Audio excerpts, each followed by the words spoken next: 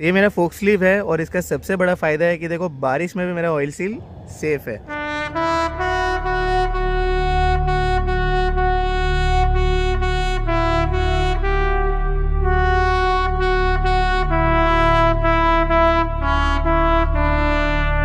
Happy Independence Day to all of you guys अपन एक बहुत young youth है guys देश के लिए अपने को कुछ ना कुछ करना है एंड बहुत अच्छी तरह से करना है। Vijay sales same M I eleven T pro अपने संकेत भाई का। सेम फ़ोन ले लिया। सेम पिंच हर घर तिरंगा पूरा डोंबिवली आज इंडिया के फ्लैग के साथ में चमक रहा है। मैं और संकेत भाई अभी बारिश में अटके तो मैं सोचा क्यों ना वीडियो यहीं पे शुरू कर जाए। जैसा कि आपको पता है मुझे पब्लिक ब्लॉगिंग में थोड़ा सा भी कॉन्फिडेंस का प्रॉब्लम नहीं है।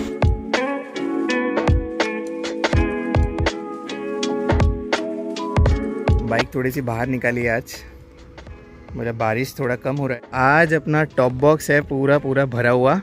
देख रहे हो पूरा बाइक का सामान मैंने अंदर डाल के रखा है। मैंने already zip W D engine oil पूरा भरा हुआ है ब्रेक क्लीनर सारा सामान मैंने अंदर डाला हुआ है। प्लस मैं रेनकोट भी लाया इनकेस अगर बारिश हो गया तो। ये अपना ठाकुरली वेस्ट साइड का एरिया है और यहाँ पे मैं नॉर्मली जॉगिंग करने के लिए आता हूँ। खाड़ी है डोमिली वेस्ट में उधर तो मैं बचपन से जाते आ रहा हूँ। अपन आज इधर आते हैं ये भी थोड़ा खाली एरिया रहता है। क्या होता ना क्राउडेड एरिया में तो अपने को बनाने को बहुत मज़ा आता है। मेरे बड़ी बात आज मैं मेरा माइक भूल गया अदरवाइज़ मैं नाइन्टी फीट रोड पर ही जाता तो मेरा फेवरेट जगह है। एक बात तो बोलनी पड़ेगी टॉप बॉक्स डालने के बाद ना गाड़ी का लुक एकदम चेंज होता है। और ये टायर है ना, क्या गाड़ी उठा के रखा है। ट्रस्ट मी मैंने अभी तक इसको सिटी में चलाया और मुझे तो एक्सपीरियंस बहुत अच्छा लगा। एक्चुअली बारिश है तो मुझे और ज़्यादा अच्छे से समझ में आता है कि टायर कैसा बिहेव करता है। For the price it work really nice इसको मैं पिरेली या मेडजेलर के तो लेवल पे कभी नहीं रख सकता। तो मैं आपको गाड़ी के बहुत सारे काम बता देता हूँ जो मुझे राजू के पास कराने हैं। इसलिए तो डब्बा भर के घूम रहा हूँ भाई। सबसे पहले मेरा क्रैश गार्ड आप देखोगे तो ये पूरा जंग पकड़ लिया है। और इसको मुझे पूरा जंग निकाल के इसको पेंट कराना है। ये भी नट मुझे चेंज करना है।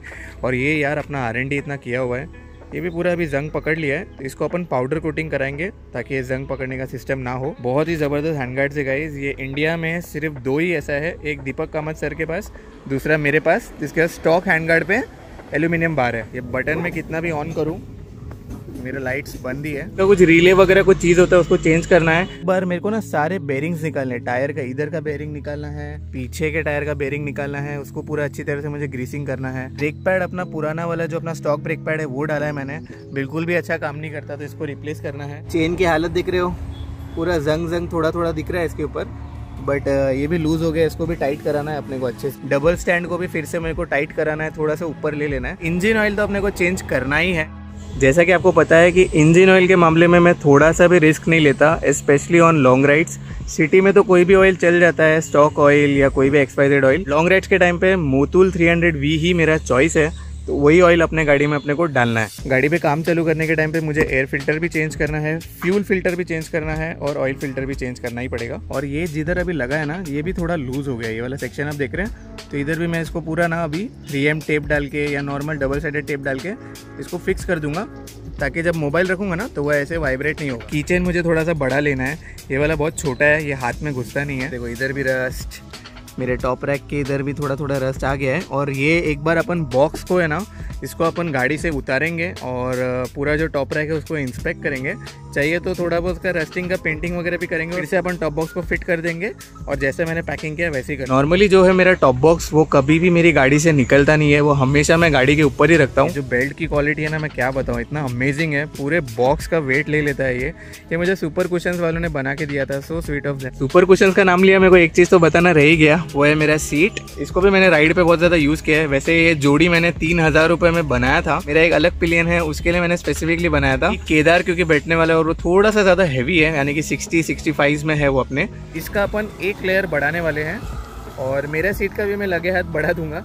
थोड़ा सा मुझे गाड़ी और टॉल लगेगा। इधर भी मेरा, आप देखोगे तो थोड़ा बहुत स्टिकरिंग मेरा निकलने लगा ये मैंने नया नया कराया था बट चलेगा ऐसे उन्नीस बीस होता ही रहता है। बॉक्स का रैप मुझे एक अच्छा खासा सजेस्ट करना। मेरे को बहुत टाइम से बनाने का था और मैं अभी तक बना ही नहीं पाया।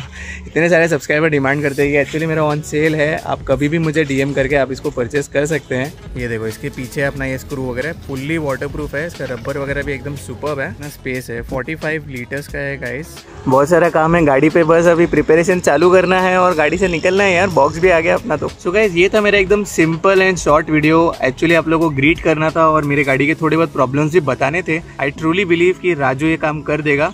एक वीडियो बनाता हूँ मैं, जिसमें आपको बताऊँगा क्यों मैं एक नॉर्मल मैकेनिक के पास जाता हूँ rather than going a service centre जब भी मैं लॉन्ग राइड की प्लानिंग कर रहा हूँ। आज के वीडियो में इतना ही। मैं मिलता हूँ आपको मेरे नेक्स्ट वीडियो में।